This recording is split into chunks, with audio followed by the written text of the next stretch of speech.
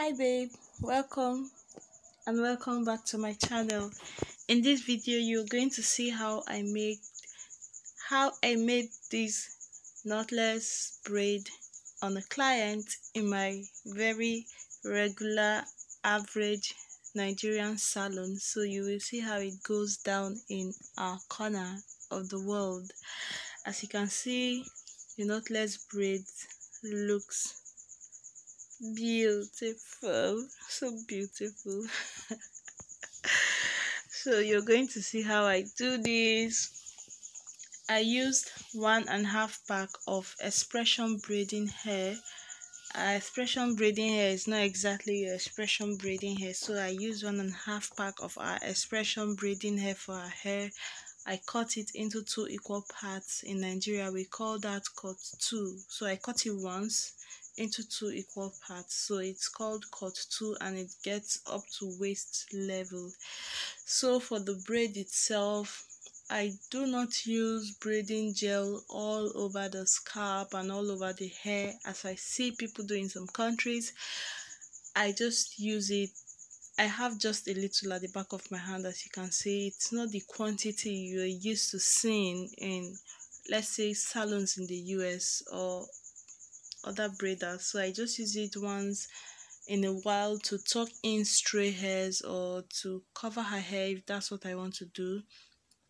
And you can see our atmosphere is usually not except you go to a salon you're not you are not used to or a salon that is new you don't know the stylist or i don't know just when you go to a very very average nigerian salon while making your hair it's usually just fun and gist.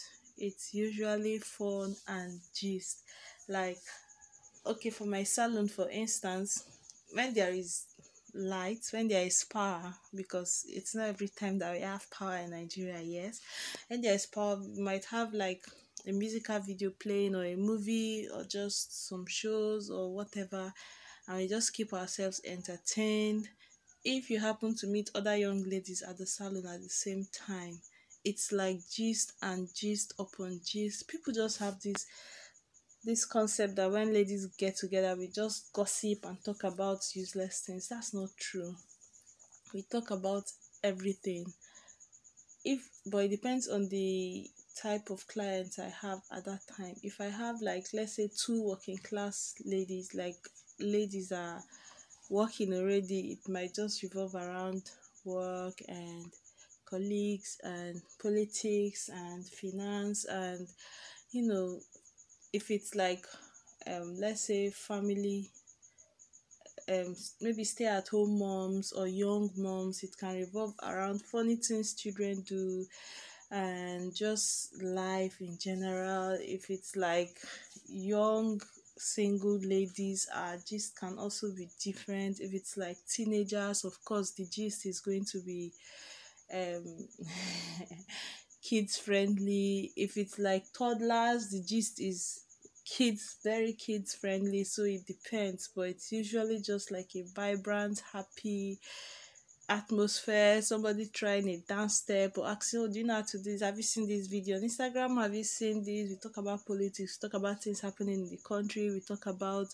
fun things that happens at home, we talk about people's hair escapades, like what has happened with their hairstyles, we talk about our meets and just random like just it's just fun but you can see every time i upload a video it's it's usually just good vibes happy atmosphere. You you must see my clients smiling. Sometimes we stop and laugh and i just take all those parts out of the videos because some people are too professional on this youtube. But you know it's usually just fun a regular nigerian salon but if you go to like a higher end like a very very higher end type of salon where you have like maybe five client five stylists making your hair four stylists making your hair and the customer is completely on their phone all the period like and one of the reason why i also like interacting with my customers is that it prevents them for, from sleeping. I have this problem once i just touch people's hair they start to sleep. So at, there was a time I used to like engage them, try to force people to talk so that they wouldn't doze off, especially if there is no power and like the television is not on, the movie is not going on. But from there, I've met like the most amazing, fun women, like the best set of people ever, and I just look forward to them coming in. I just know that everybody coming in is coming with a different vibe, a different kind of happiness that day. It's going to be fun, it's going to be peaceful, it's just going to be nice. There is no negativity around here, there is no gossiping and backbiting. I used to just wonder where people have that concept that when women see themselves, they just get jealous and speak evil about other women. It like I don't get to experience that ever. Like it's very rare. Maybe like one in a hundred like one percent of time you will get a woman that will come and comment negatively about someone else. And usually that vibe is usually just squashed. Like no Mm-mm, we don't do that here like life is already difficult and we're just trying to you know just live the best lives that we can considering what is going on you know so it's usually never like that in my salon. I am just trying to tell my story so that you can see how it is from this from this side of the world. Like in my small circle here, this is just something else that is worth noticing in my salon because I said like an average Nigerian salon, my salon just represent that like summarized my salon just represent that.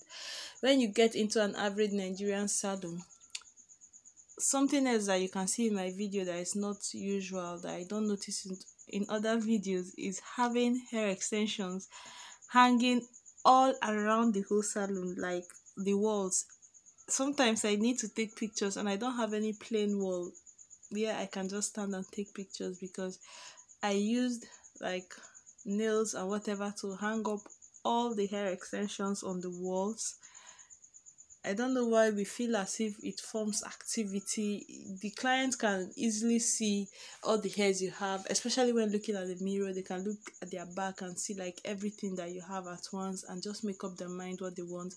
But in higher end salons in Nigeria, safe even just in Nigeria, no, people don't do that. They have like a designated area where they have hair products and you can just go pick it there. And sometimes it's stacked up on each other not like displayed to just make everywhere look crazily busy and just sometimes it's like headache it looks too much. But that is the way it works. If you want to make sales and sell these things like you just have to have them where people can see every single thing. And then some other thing i will say again i don't think like an average nigerian salon doesn't take you know when I've watched videos of like stylists, even stylists who make hairs. I don't know if this is only portrayed online because I have never visited like the US and when I watch young style like upcoming stylists, what's upcoming stylists? I make when I watch stylists that make hair even at home, they have this sanitary um will I say standard that they keep to where you have to like disinfect your seat, disinfect your working area after each client. I don't know if that's what goes on, let's say, for example, in the US every single time, but in an average Nigerian salon, we don't have germs always surviving every time. like, I don't usually like disinfect my chairs during COVID okay that was understandable that was when we didn't just even lock up and go home that was understandable we have to like disinfect everywhere spray it down and wipe it off at the point it wasn't even worth all that stress and, and risk but when I watch stylists in between clients, they disinfect the seat, disinfect, spray down the, the work surfaces and all those things. I usually don't do that. I usually don't do that. The best I do is just like not repeat using things on on my clients without washing them. Maybe like combs and towels and you know those other things, but not to disinfect and sanitize every single item. I don't know if that is what is obtainable usually, but that's just what I see in videos. I'm like, ah, like if people standard are not not those things I think are actually necessary, but we don't have like a body that enforces that. Let's put that like that. And many of us didn't go to, we didn't learn how to make hair by going to cosmetology school. No, that's not an average nigerian stylist that's not how we learn it's either you take yourself to a salon and just be like an apprentice where you learn or some of us just start braiding from childhood and then it grows into what it is everybody's just doing their own different we don't have like a standard that everybody's taught when making this hairstyle you start like this and do like this and everybody is doing that. You go like all over the country people just have their different techniques. They have their peculiar type of hairstyles. They have like they are just things that are obtainable. Like in the northern part of nigeria and also the south you have those inner weavings the didi hairstyle. But in the east we don't do that. We have more of thread hairstyles then then i'm saying then but now things are changing but still like didi hairstyle is not very very popular in the east as it is in the south and western part of nigeria.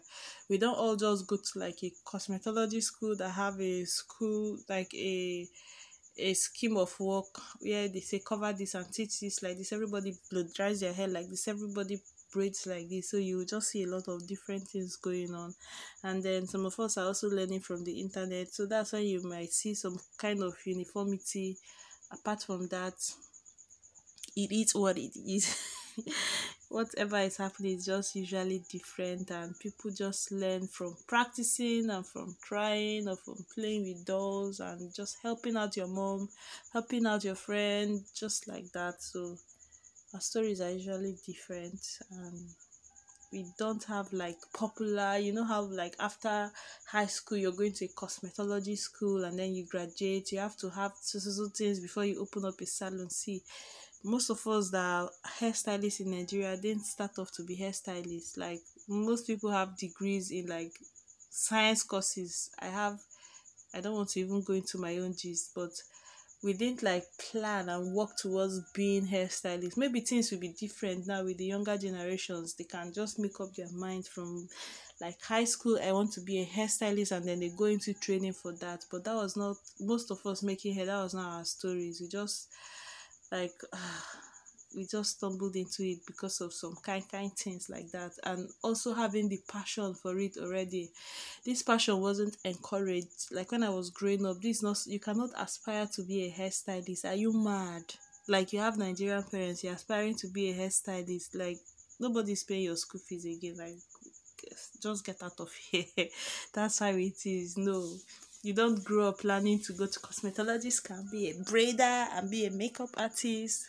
Those ones you're not raining there. You have to be a lawyer a pharmacist a doctor or maybe a good teacher because you get to a prof and then like all those type of jobs. So our stories i'm just telling you my story. Our story is different. This is the hairstyle. Oh time is up thank you for watching. Do you have gist for me? I'd like to know.